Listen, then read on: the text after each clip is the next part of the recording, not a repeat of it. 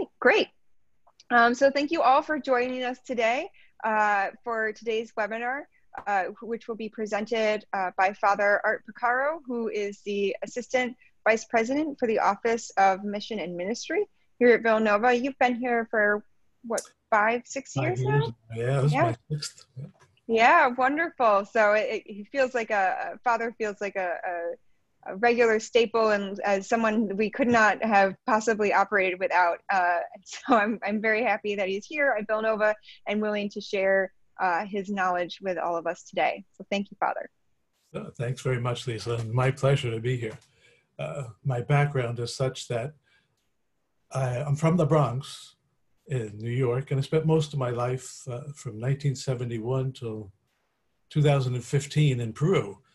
There were 12 years in which I was centered in Rome, the, the central government of my community. But most of my time has been in Peru and Latin America. And so that affects who I am and how I'm able to contribute. And today you'll see, particularly on this topic of sustainability and ways of teaching, how my own background comes out. And I hope that uh, we can have a little conversation about that. Uh, but to start off, not being from the Bronx, it's hard to know much about agriculture. But I did learn a, a certain amount while I was in Peru. I was told that you sow what you hope to reap. You plant what you want to harvest. Sound reasonable? So, sustainability as the topic, you're interested in that topic, either for teaching purposes or for sharing purposes or for living purposes. Sustainability. What is it? When I say sustainability, what do you think of? If you can go think about that for a, couple of moments while I babble on here a little bit about this methodology, and then hopefully share very briefly or, or at length what you understand sustainability to be. Because if that's what we are hoping to reap, if this is what we're hoping to harvest, what is it? What is it? So we keep our GPS fixed on where we're headed, but many times we're not headed in the same direction. We understand different things by the same word, the same concept. It's important to, to clarify sustainability. Pope Francis, who was one of the guiding lights in, uh, on this particular topic because of his interest, but not only his interest. Previous to him, there are other popes, but bishops' conferences and Christians throughout the world who are interested in the topic of a better world, a better world. In uh, his document on care of our common home, which coincides with the Sustainable Development Goals, uh, the Paris uh, Climate Conference, he, he's very clear in his understanding that everything is interrelated, that everything is connected. So when he talks about sustainability, he says it's really important for us to hear the cry of the planet. And that might have been too present to us in, in modern times, Christian terms, to be ready to hear, attentive to hear the cry of the planet. He says the cry of the planet as well as hear the cry of the poor. Both are significant and both are interrelated.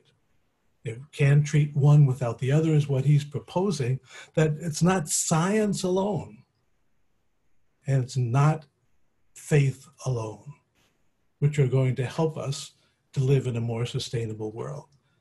It's the interrelation of those, science and faith, how they're connected.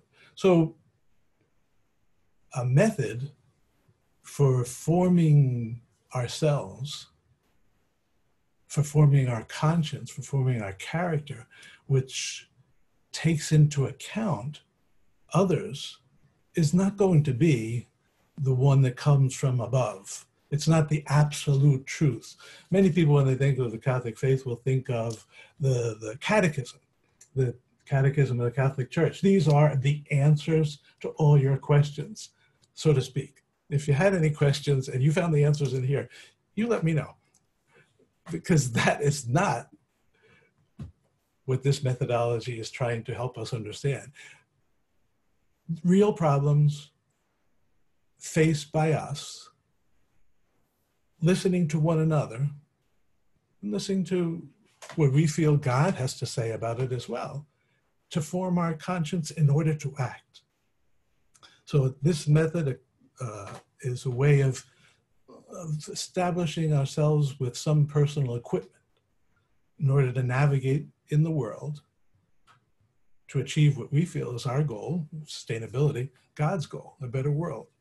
So problem solving more than absolute truth from outside of us, telling us what to do. It's us discerning what we can do, but will lead us towards our goal. Sound all right? So the methodology is participative. The methodology is each one of us, from our own experience, from our own knowledge, share, and then try to allow ourselves to be enlightened as well as uh, by what we think, but what others think and what the other might think in order to act. It's not simply intellectual knowledge. It's in order to be better able to act in the world to achieve a sustainable world. So, having said that, sustainability, how would you define, what would you say sustainability is in your understanding? You can't be wrong because it's your opinion. What do you think sustainability is? You might laugh, but you can't be wrong.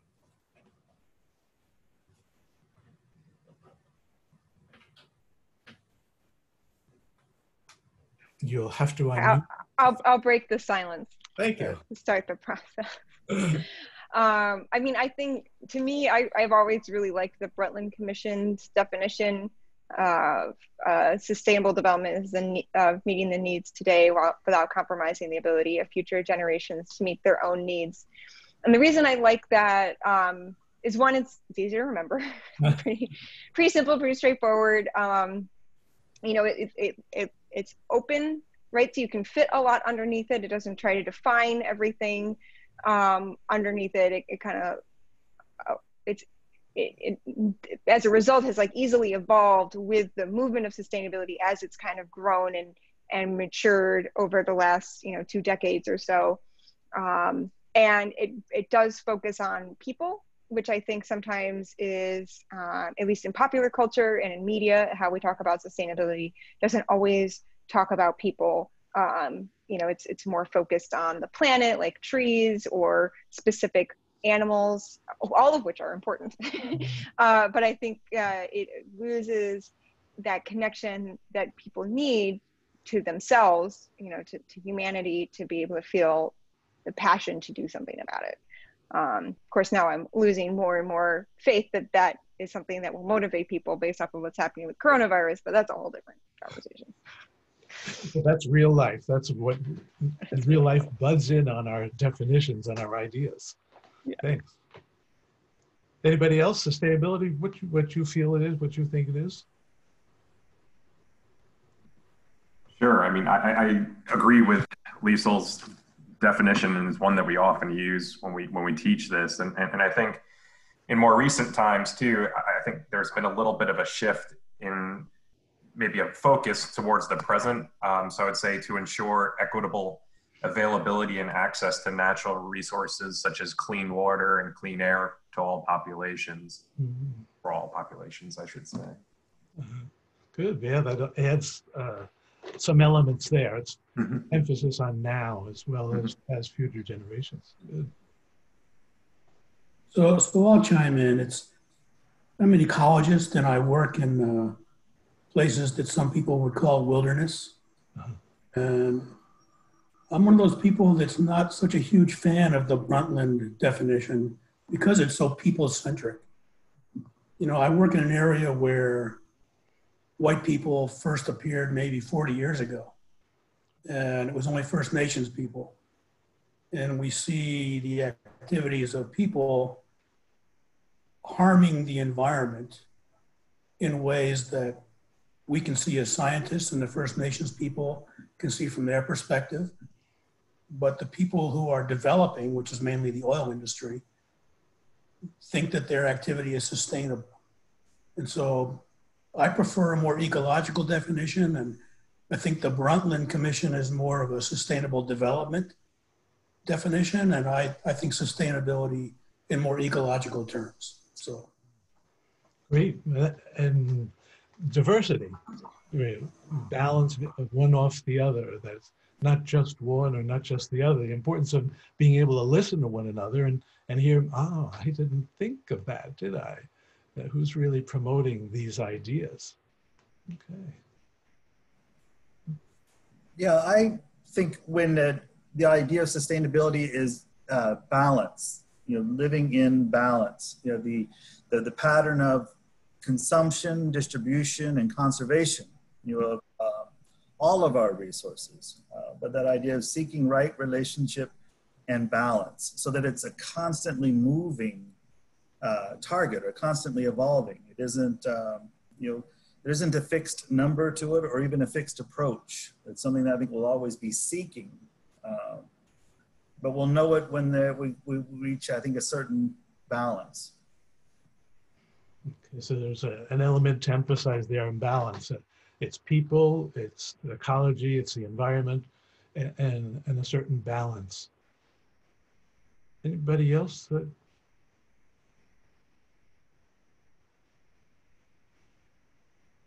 So as sustainability in the sustainability plan of the university, which we've been working on for a while, it pulls in some of those aspects. It's uh, everything for all, forever, everything for everybody, always, all, all for all, and hopefully that gathers in some of the elements which we've talked about, but might not express it entirely. Bringing it up to your class so that they help enrich the system, because many times people will think of only one side of it or the, emphasize one, and there would not a balance enough. That's principally climate control, or it's all about us. What about future generations? And what about, so it's not just the cry of the planet, is what Francis is trying to say. It's also the cry of the poor, it's people. That all things are important. All has been created by God. So, a way of broadening all of our definitions to something that we can accept together, that we're willing to commit ourselves personally and as a group towards helping achieve, rather than being told, this is the truth. Believe it. That's not why, I, I would hope, that's not why people come to Villanova or, or seek education. It's sharing knowledge, and knowledge is experience. And I might have some experience, and all of you have your rich experience. And even with all of us who are together on this, it's not complete. If we're humble enough, willing enough to share what we believe and we feel what we think we know, but realizing that oh, I guess we really don't know it all, huh? We need one another. We're in this together. And that's the idea of the Catholicity of an Augustinian education, which is what we hope is we're trying to achieve together. It's universal. It's universal. It's meant to be inclusive it's meant to be enriched by the diversity. So Augustinian, it's, it's unitas, unity. The unity is not uniformity. This is the absolute truth. You've got to believe this or no. It's unity exists from diversity. The appreciation of diverse, and not only appreciation of diversity, but the celebration of diversity, that we are different. We each have our own identity, and we do have part of the truth, the second veritas Nobody's got the capital T. Or if you do, let me know. But I believe that we're in this together and we discover together more of the truth. We search together. So unity, not uniformity. Diversity, without a doubt. Harmony is what we look for in sustainability, a better world forever for all. But it means we realize that nobody has nobody has everything and nobody has the capital T. If we're in it together, we're humble enough, and yet we realize we all have something to offer, and nobody has the, the entire bag. And that leads us to the third element unitas, veritas, and caritas, charity. We do this out of love, out of concern, out of care. Francis titles this document, I Care for Our Common Home, to encourage us to care for one another by caring for the rest of the planet. What we do with our garbage and gives us a hint of what we truly believe. If we say we respect people, what we do with our garbage enters into it. Everything is interconnected. Does that make sense? So the wisdom of Francis of gathering together different thought patterns from different ages and different cultures around the world and proposing this as a way of thinking and dialogue and getting together. Because the process is the goal. Doing it together, becoming aware together, aware of others' needs, and not just other people, but other parts of the planet, other elements of creation. Becoming more aware allows us to respond more fully to become more fully alive. And that's the goal. Full, fully alive, flourishing, everything flourishing as it was intended to be. And it's always going to mean bouncing off one another. But that means being willing to say what I think and what I feel, not feeling that, oh, I don't have anything to offer. I, I don't know anything about this my experience, whatever that is, being willing to share that, but also having the ability to say, I need to hear what other people think. I don't know it all. I don't have it all. I need to hear your side of the coin. So, not thinking only of past generations, but also future generations, not thinking only of white males, but thinking of all people and not judging or only be concerned about where I'm from, but the entire planet, all of creation, where we're headed and headed together, that we're in it together. Does that make sense? It's a methodology which Francis is trying to, to promote, which is highly respectful of people. And the document on care of our common home, what, what he says there, in the document, he does using the methodology, which is becoming fairly popular in the church now, very much uh, how things are thought through, both theology, philosophy, and in Latin America. It's see, judge, act. Those three stages in the process of coming to act upon our world, our lives, ourselves, in order to achieve that everything become more fully alive, everything be able to flourish. So the methodology is what I would, I would say, I would encourage you to think of as possibly sustainability in action.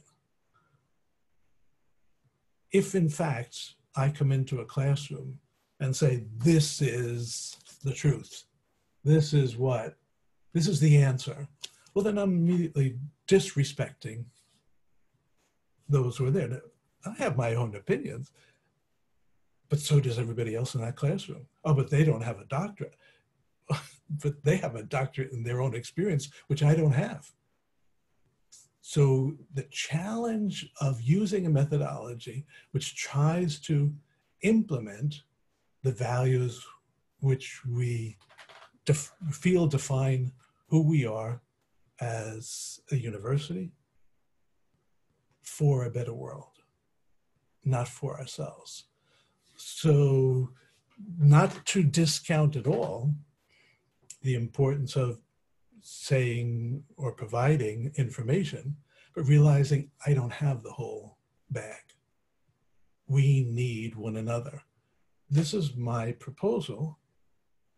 What do you feel about that? It's looking for participation, learn participation, encouraging students to read, encourage students to articulate their ideas, their feelings, their thoughts on, on these topics.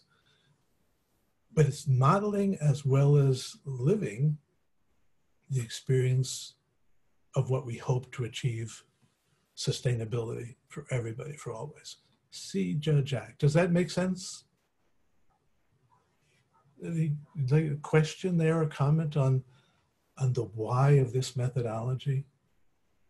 Will it work for you in your classroom? That's another story. Will it work for you in your life? I would think it could be helpful, but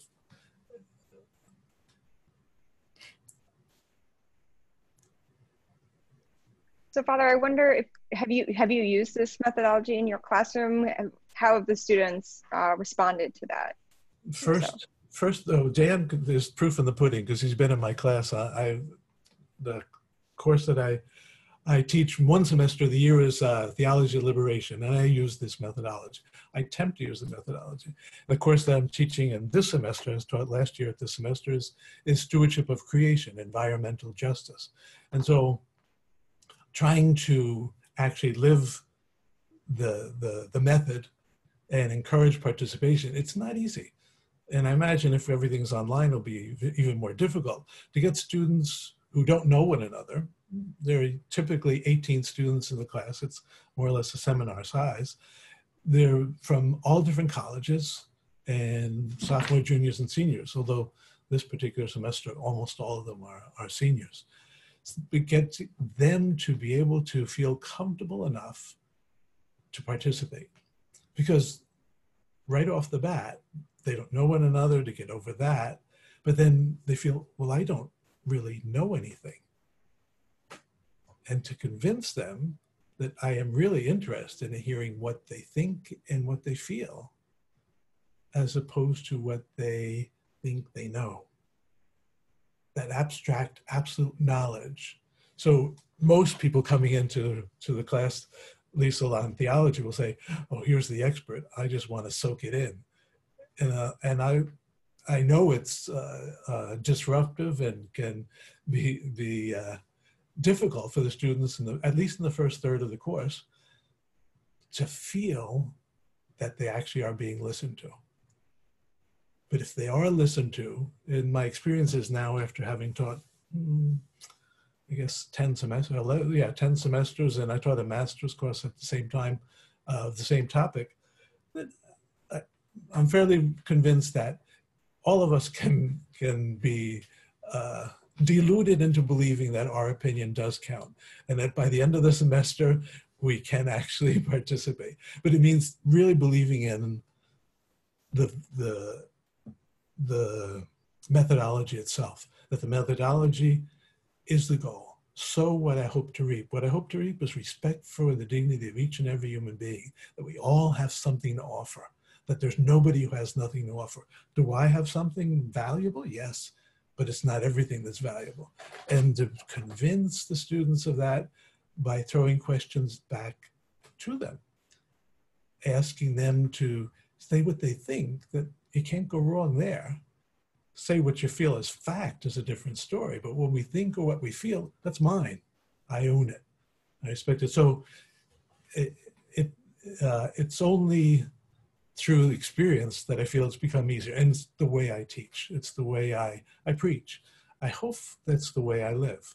That not coming in as the person who knows the expert in this, because I do have experience but I certainly don't have Kelman's experience in the wilderness.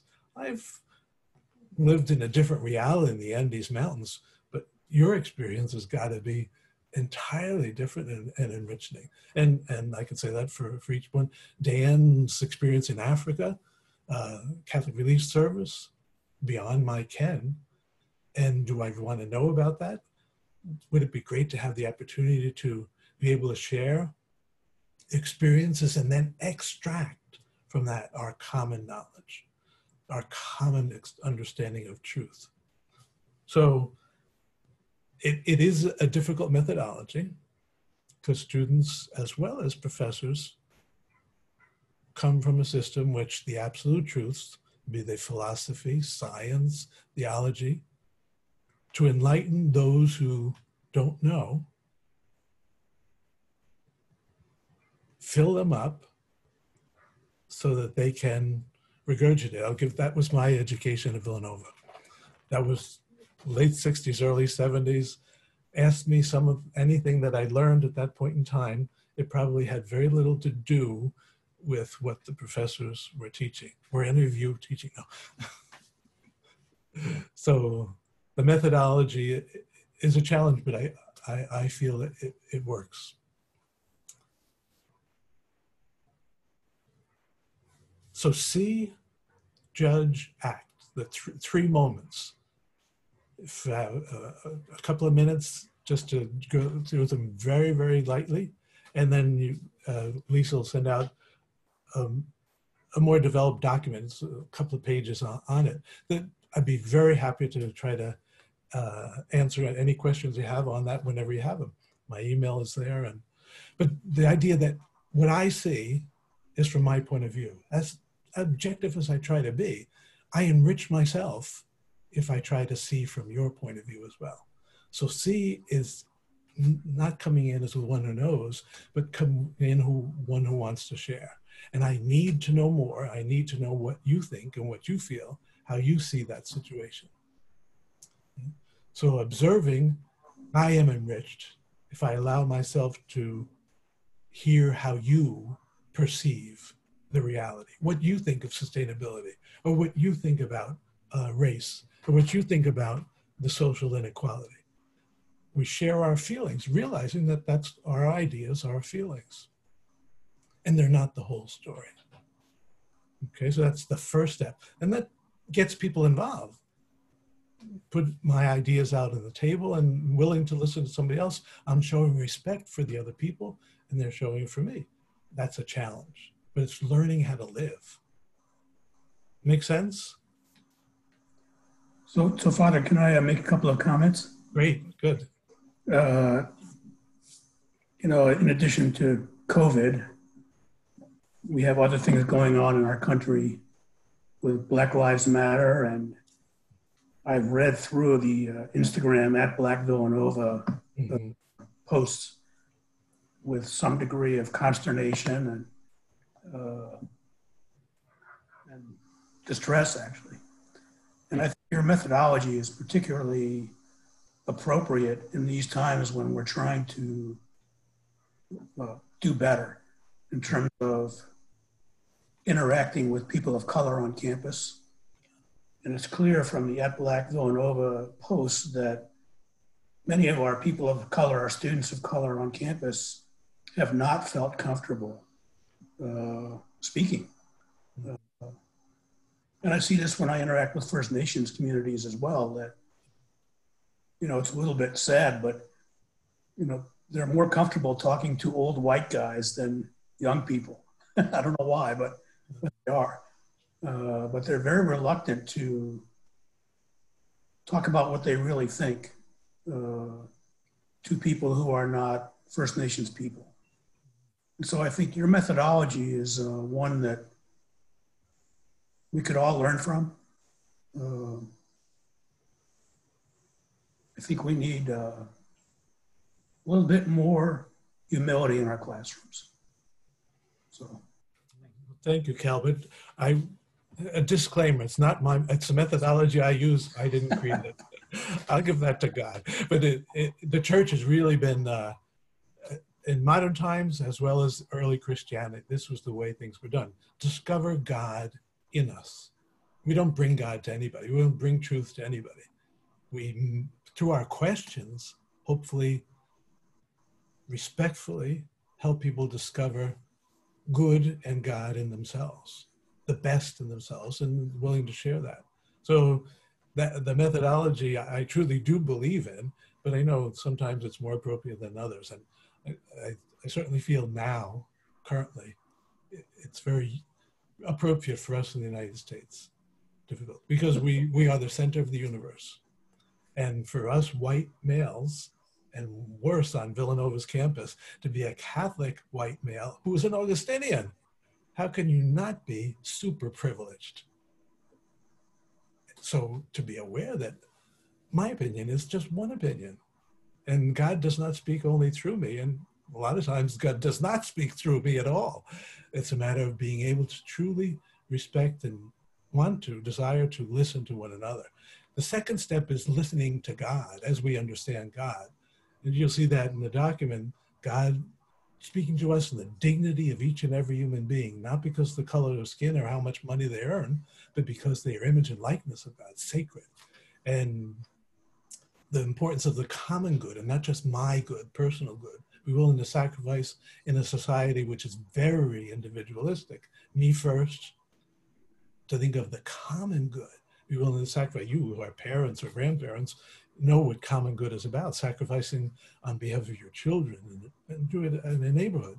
And then uh, active participation, subsidiarity, that we're not in this to be passive or to complain about somebody else we're in this together to be in, involved to make this together a better world not just for us for everybody. And the fourth quality the fourth value is is solidarity. It's not a level playing field. Some people don't have the advantages that we do. It's an inclusion. It's actively leaning to allow others. It's being quiet so others can speak. It's supporting others. So those four values which hopefully can illuminate what we discover when we see dignity, common good, subsidiarity, and solidarity so that we can act. Not that we can know, that we can act to make this a better. What's the next possible thing that I, that we can do to make this a better world? So the, the, the methodology leads us, encourages us, the path is towards action to make it a better world for everybody. And with that, I think Liesel's leaning in because of the time, and rightly so.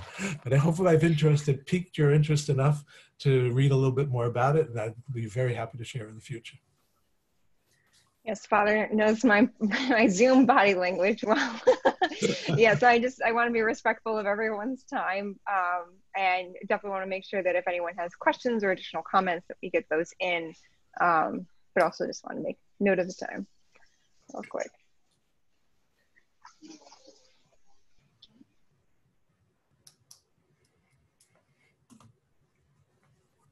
No one has any more comments or questions? I mean, this was great. This was really wonderful, Father, and it gives us a, um, a, um, a viewer lens to think about how we we interact and and deal with a lot of these challenging topics today, not just around sustainability, and climate change, but um, as Cal mentioned, societal issues as well. So it's really helpful and wonderful.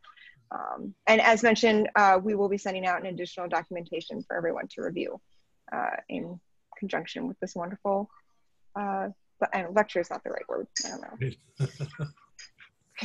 Presentation, something like that. Words escape me at this moment.